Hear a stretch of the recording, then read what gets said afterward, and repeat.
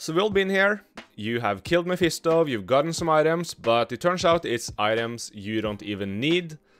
I just killed him and I've gotten this Arreat's Face, it's a barbarian item. I'm not playing barbarian, I need to get rid of it. How do I do so? Well, the problem with Diablo is that there isn't any good trading options in the game. So I can either create a new game and wait and hope that someone joins the game and has the item I need, which is a problem, because even if you create a new game, not everyone in your region, like I'm in Europe, not everyone can see your game, only the people that are connected to your server can see the game. So it's really hard to find someone online to trade with. You can of course create a new character and use the item, but the item might not even be useful in the build you're planning to build. So another option is that you can go online and trade item on forums. You can hope that someone sees your post before it's buried, because the people that use these services are usually the ones playing a lot, and they are only in the market for high-end items. So stuff like this might not even sell there. So I'll give you a solution that I've come up with. I'm Andre and I make game extensions and web apps and I've created something for Diablo 2 I think is pretty cool.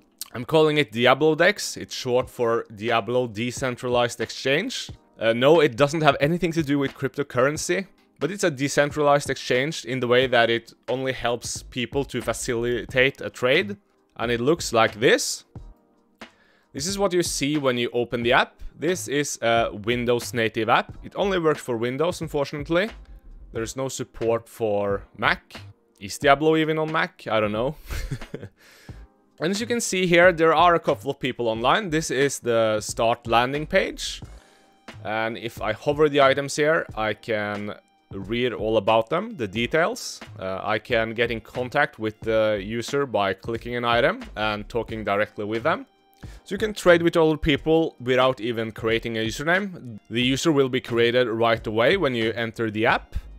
Uh, but you can add a battle tag if you want to. Uh, you can also be anonymous and don't put in your battle tag and just put in a username, just like I've done. Uh, because you usually trade in Diablo per game. So th the extension will suggest a game name, like here, that both of you can join. And you can communicate directly with users in the chat box, like this. And just arrange a meeting in a game. So you want this to be as quick and easy as possible. So I can click this link and get a link to my item, and I can trade with users outside of the app. It's a good way to just show off the item and show off what kind of stats it has. You also have a nice profile link. Uh, if you click here and you get basically a link to all your items, all your needs and offers. So what I will do now is add this Arreat's Face to my trades. I'll show you how it works. So we just go here on the trades and a new trade and I put in the name it will autocomplete. You can just click this. It will pop up with all the, I call it non-mutable properties. And we also show you the min and max for each of the stats that are mutable. So looking at this, you have to move this a little bit. You notice that the app, it is built as a game extension, but it really is a Windows native app.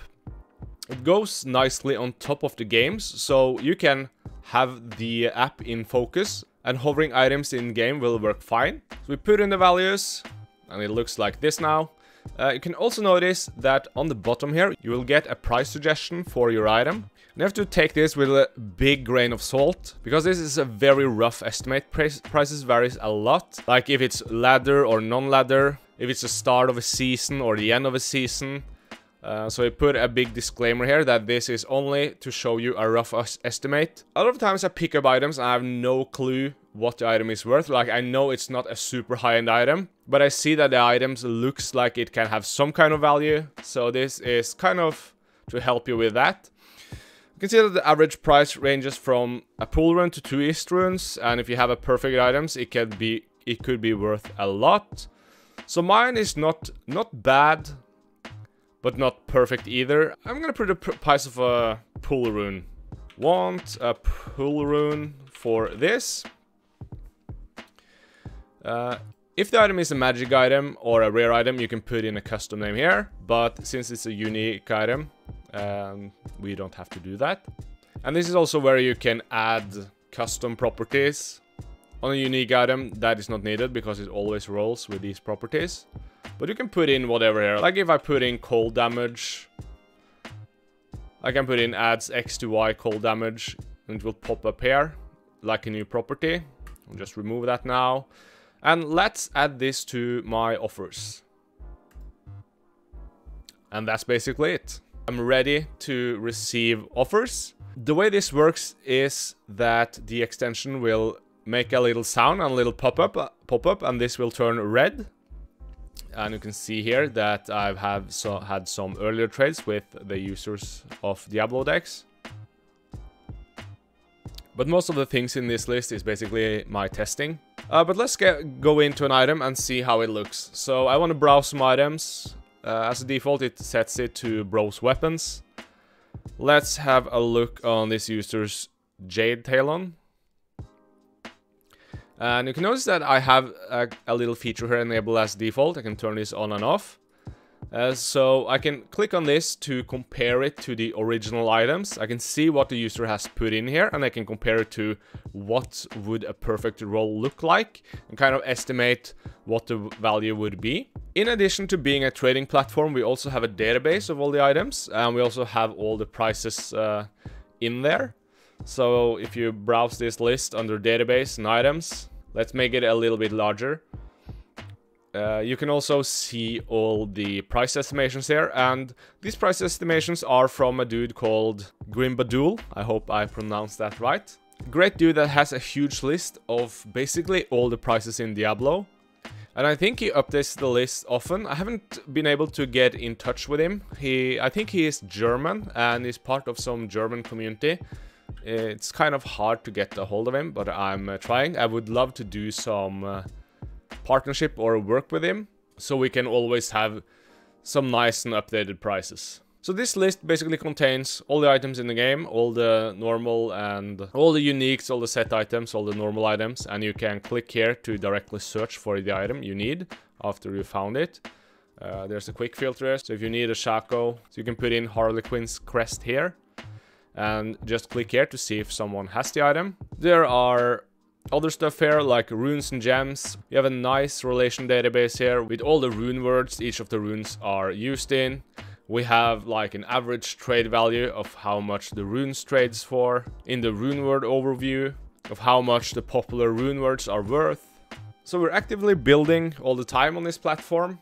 So I said that I make game extensions and web apps. Our first game extension and web app was aetherhub.com and we built a game extension for MTG Arena. It's a big extension now with around 100k users and we hope that we can grow the community around Diablo Dex too. I really need people to trade with and I hope you do too. I hope we can all find each other on this platform. So to talk a little bit about the business side of the app, we hope to keep this app free and basically just run on ads. Ads on the web app and also in the game extension itself. Yes, I know ads can be a little bit annoying. It's a great tool so that we can keep building something we like and provide it for free for everyone. And at the same time, you get access to a great service without having to pay anything at all. And we plan to do it the same way we do for our other extension, like we will have a premium feature, but it's basically just gonna be that you don't get ads. Right now, there is no restriction on how many trades and needs you can add. We might need to throttle this down in the future, so future users might be limited to 50 trades or something like that at the same time, while users coming in now might get a premium for free and get access to putting out as many items as, as they want, as I want to provide an extra bonus for the early adopters. So, diablodex.com, that's where you can download the app, that's where you can see the items out for trade, and not all features in the game app will be found on the website. Chatting directly with users is something that's only available in this app. And also a suggestion for a game name and stuff like that. That's all in the app. We're also building an open API for all of this so that other websites and Diablo communities can tap into that API and get trades for each item. It's already built in. So diablodex.com, go and give the app a try. See you in game. Have a good one.